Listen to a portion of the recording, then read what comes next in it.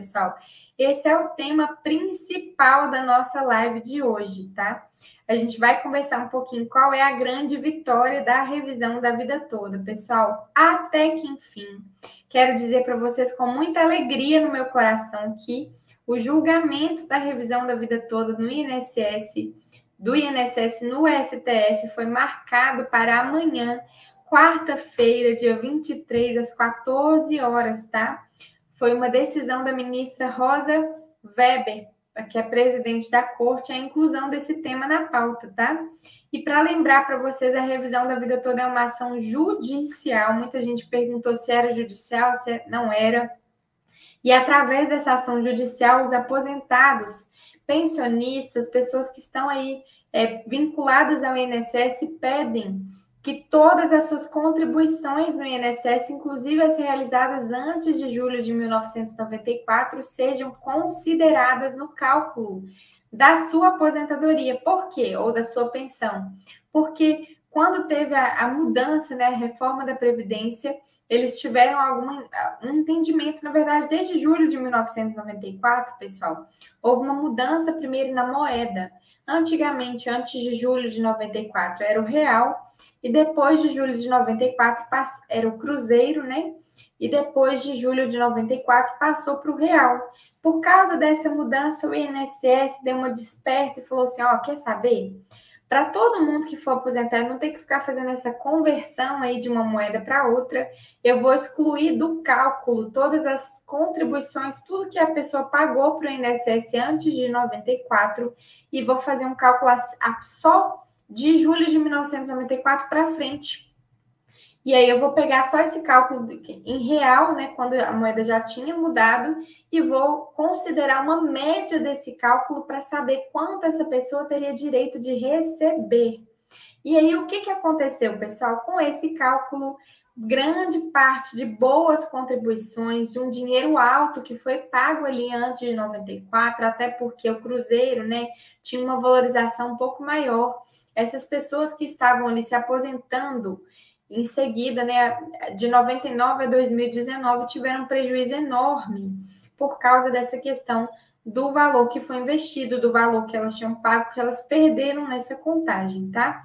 E aí agora surgiu a possibilidade de elas reaverem todos os valores indevidamente retirados, né, do cálculo pelo INSS. E esses valores, pessoal, são pagos a partir de então para frente até o final da vida da pessoa e também dali para trás, desde quando ela se aposentou, desde quando ela começou a receber a sua aposentadoria. E por causa disso, vale muito a pena o pedido de revisão da vida toda. Tem pessoas, pessoal, que a gente acompanhou as ações e fez tudo direitinho, pessoas ganharam 20 mil reais e subiram ali uma média de 1.500 reais, mais ou menos, no seu benefício dali até o final da sua vida. Então, vale muito a pena. E a vitória é que amanhã a gente vai ter a assinatura final, a gente já está crente, a gente já sabe qual é o placar, o resultado final da revisão da vida toda, mas amanhã a gente vai ter aí a vitória final, né? O, a documentação desse, desse resultado, e a gente está acompanhando, porque assim que sair, tudo que vier, tudo que tem de processo parado de revisão da vida toda, tudo que vier de novas ações vai ser pautado nesse resultado, tá? Para lembrar vocês, esse processo já tinha sido julgado de forma virtual em março de 2022, tá? Ficou parado por cerca de um ano, foi julgado virtualmente em março, foi vitorioso o placar, mas um ministro abençoado, um tal de Marcos Nunes aí, ó, foi lá e pediu para cancelar o julgamento virtual e voltar para o julgamento presencial. E aí teria que recomeçar tudo do zero. Mas no meio dessa confusão, olha que vitória excelente que nós tivemos, tá, pessoal? No meio dessa confusão, uma pessoa esperta lá no meio falou assim: olha o seguinte. O ministro Marco Aurélio, que era o voto de Minerva a favor dos aposentados, se aposentou e aí, só que ele teve todo o trabalho de analisar o processo da revisão da vida toda, estudar, ver todas as vertentes, todas as possibilidades. E ele tinha dado um voto favorável.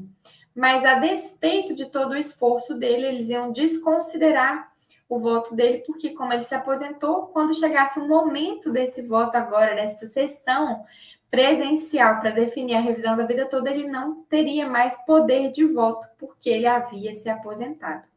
Olha que maldade. Mas de forma muito inteligente foi solicitado ao STF que considerasse o voto dele que foi um voto que foi estudado, foi pautado no processo em conformidade, então que deveria ser considerado, já que ele deu o voto antes de se aposentar e o processo ainda vai seguir. Por causa disso, pessoal, eu estou vindo aqui como advogada dizer a vocês que esse resultado amanhã é 90% de chance de ser um resultado certo, né? De favorável à revisão da vida toda, e todo mundo que já entrou vai ganhar uma boladinha aí para trás de dinheiro, tá?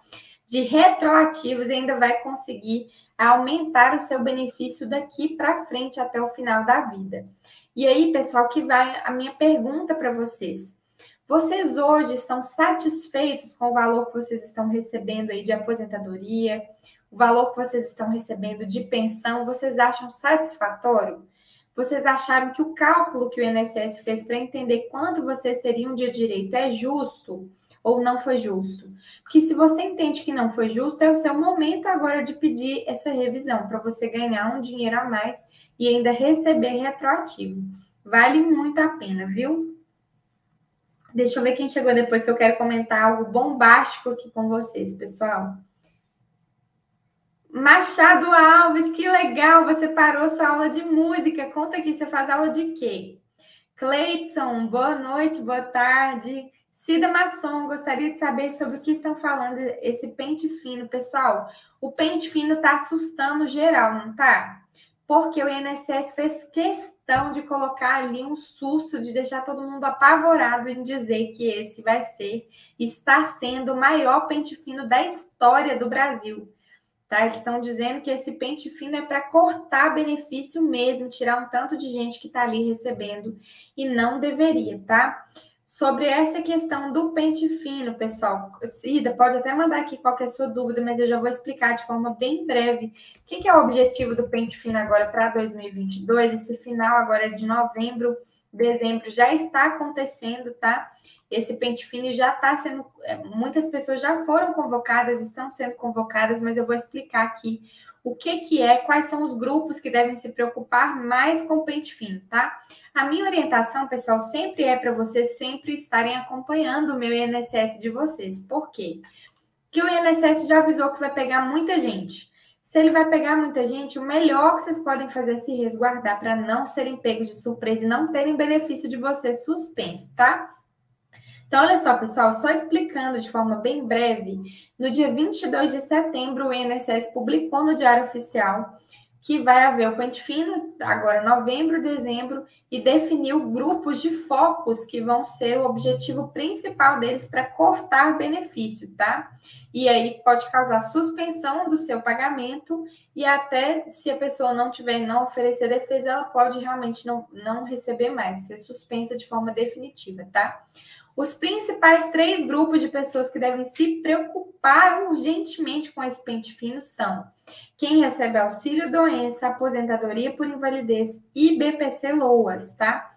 São aqueles tipos de benefícios que são benefícios mais assistenciais, no caso do BPC LOAS, no caso do auxílio doença, e no caso dos previdenciários, né, que também entra aí aposentadoria por invalidez, o objetivo do INSS é o seguinte: falar, olha, você está recebendo um benefício meu para ficar encostado em casa, porque você não tem condição de trabalhar. Se eu conseguir provar, nem que seja por uma beiradinha que você tem condição de trabalhar, eu vou cortar seu benefício. Então, basicamente, é isso que o INSS está fazendo agora em novembro e dezembro, tá? Mas quem for convocado, quem tiver seu benefício suspenso, não se preocupe, pode vir aqui no canal, fala comigo que eu vou ajudar vocês, vou explicar o que, que vocês podem fazer sozinhos aí para resolver o problema, tá? Bye.